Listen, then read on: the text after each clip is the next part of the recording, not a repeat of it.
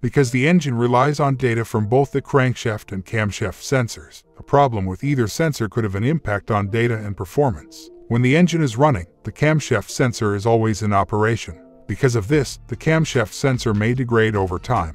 In some cases, cracks or oil leaks also cause damage. The ring gear could also become worn and affect the readings. In this short video, we will look at the signs of a bad camshaft position sensor and the replacement cost in case you need to replace yours. It's the Car Problems YouTube channel. Subscribe and let's get started.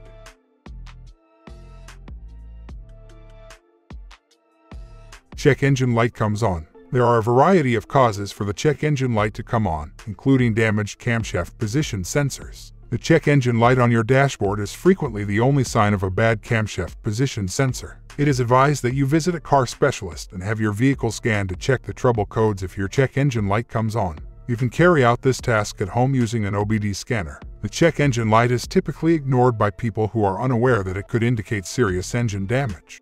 Poor engine performance. One of the most frequent issues brought on by a subpar camshaft position sensor is a sharp decline in engine power you'll observe a lot of stalling, idle time, and a decrease in engine speed. Additionally, fuel efficiency falls. All of these issues are typically caused by the damaged camshaft position sensor, which can cause the engine to enter limp mode.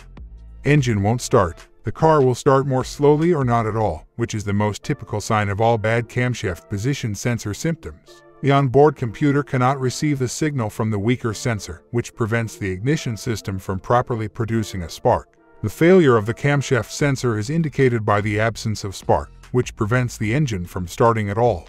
Problems with shifting gears. If the camshaft position sensor in your automatic transmission car is malfunctioning, it may cause improper gear changes. This could be because the sensor's error code has put the engine into limp mode. Engine misfire and vibration. A bad camshaft sensor also results in engine misfires, which can cause vibrations while accelerating in addition to engine vibration and stalling. It's time to check your car's trouble codes if you notice a decrease in engine performance along with a check engine light on the dashboard.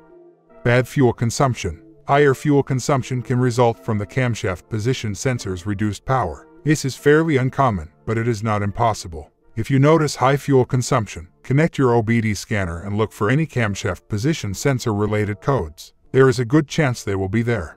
Location. The sensor can be installed from the side of the cylinder head, but it is always situated close to the camshaft, frequently at the top of the valve cover. The camshaft sensor can be found by looking around the head or valve cover and following any electrical wires. Replacement cost. The cost to replace a camshaft position sensor ranges from 100 to $250 on average. While labor costs range from 30 to $130, the part itself costs between 75 and $120. You can get the best price for the part and the related labor costs by doing a little market research. These costs can change depending on the manufacturer, your location, and the supplier from whom you purchase it.